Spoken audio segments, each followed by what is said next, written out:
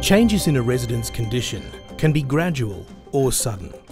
And regardless of the severity, any changes can indicate a risk of deterioration. So it's essential that staff can recognise changes and respond in a timely manner, preventing adverse events or serious deterioration.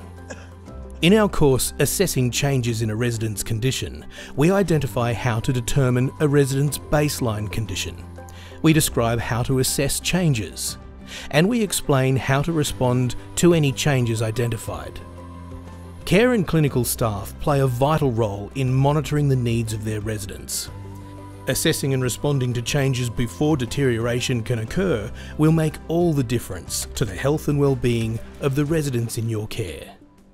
Assessing changes in a resident's condition on Altura Learning.